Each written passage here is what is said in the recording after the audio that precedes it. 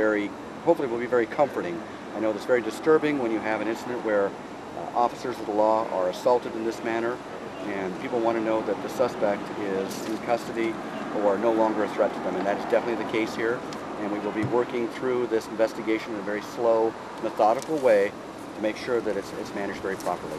Can you give us a timeline of exactly how all this went down, how this played out, and all of the officers that were involved and the teamwork that was used? We really can't at this point. What I can tell you is that there was great coordination between local law enforcement, including the sheriff's office, the police department, uh, Valley Police, Airway Heights Police. I saw some of their cars here, and Washington State Patrol. And so it was a very coordinated effort uh, in response to this assault on these officers. Is And this so when do you expect all of- custody? Is there a suspect in custody? The suspect has been encountered, and uh, where you have that scene locked down, he is um, he has uh, been he actually shot himself. Is he dead? Is he alive?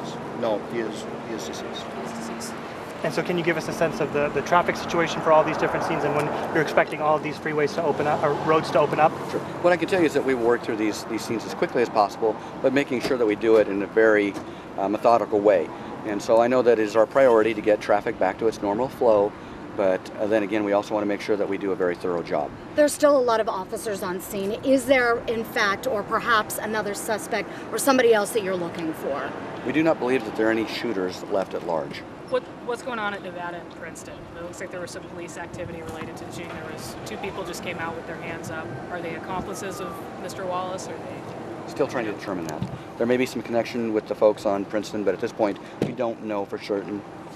So what's next for you in your investigation? What's next is that we will lock these scenes down one at a time. We will process them, and then uh, we will take all that information and put it together, and hopefully uh, be able to provide a very detailed, uh, I guess, uh, description of what occurred here today. Are you prepared to give the suspect information, the man who is deceased? Not at this time. And right now, uh, just so you know, the shooting protocol has been invoked, and WSP, SPD, and the sheriff's office are all working this together. Can you tell us the officer's names? Not at this time. Can you tell we us We haven't how, uh, had a chance to contact all family. Can you tell us how long they've been on the force, or give us a little bit A about them? considerable amount of time. Talk to me a little bit about the officers, if you could. Uh, not at this time. They're, I can tell you they're both quality deputies and they uh, do a great job. How long will you guys need to be out here continuing to command the situation? As long as it takes to do the investigation. How many scenes are there? Are there four?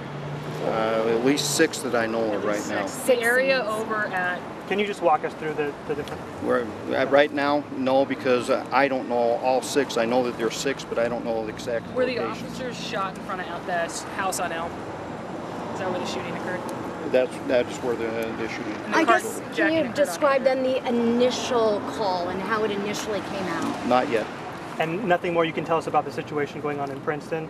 No. Whether there are anyone still on scene there? Nothing. And the car that was stolen in this carjacking that started this whole thing, has that been recovered? Uh, the carjacking didn't start this. Can you give us any indication at all about what may have sparked this altercation? Not yet, So just to confirm, at this time only one suspect in this? as far as we know. How was the carjacking related to this? Uh, we're still putting that together, maybe. Are you prepared at all to connect this to any drug crime in the area? Uh, we don't know exactly what it's related to. As soon as we do, you'll know. The scene at Princeton, though, is connected to this. You can confirm that. Possibly. Okay. What's the last time you guys have had, your agencies have had to have a response like this? To this bag? Yeah. It's been a while, but we often work side by side, and we have instances where uh, we're working together continually, and it's fairly seamless.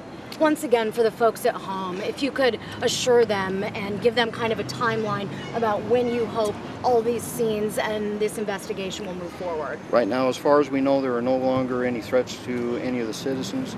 The scenes will be released as soon as we have a thorough investigation, and we hope to have that done uh, hopefully in the next few hours. Sorry, and just to confirm again the conditions of the two deputies? They're stable. Uh, one's in surgery. Will one will the other one require surgery? Uh, no, it doesn't look like he'll require surgery. Can you describe the mood with your officers and your force right now? This is a pretty chaotic scene. Just driving out here, it would seem like every Right now, they're the focused on doing their jobs and protecting the citizens, so that's what they're focused on. The Thank- suspect who took his life, is he familiar at all to law enforcement? Does he have any kind of We'll have to wait and, uh, and get all that, and as soon as we know, we'll let you know. Can you say if the deputies were partners or working together? They were working together. Were they, They in work the same on the same chief or on the same uh, shift. No, we, uh, we don't have two-man cars. If I could jump in and answer uh, Megan's question, how the officers are doing, I think the sheriff uh, mentioned it very well to say that we work together. Uh, we train for these types of events. Um, obviously, the officers, uh, it's one of those things where, uh, and I, I believe I speak for the sheriff too, when we look at our officers and how they responded to this, um, we have great pride because we train, we, we practice, and, and this is the scenario that, that we're trained for to handle and to protect the public. And so I'm very proud of the officers of all the agencies represented here because they did a, a really amazing job and, and bringing this to a conclusion as quickly as they did. And with such a large presence on this case, uh, what's the situation to, to make sure the rest of the city and the county are being patrolled?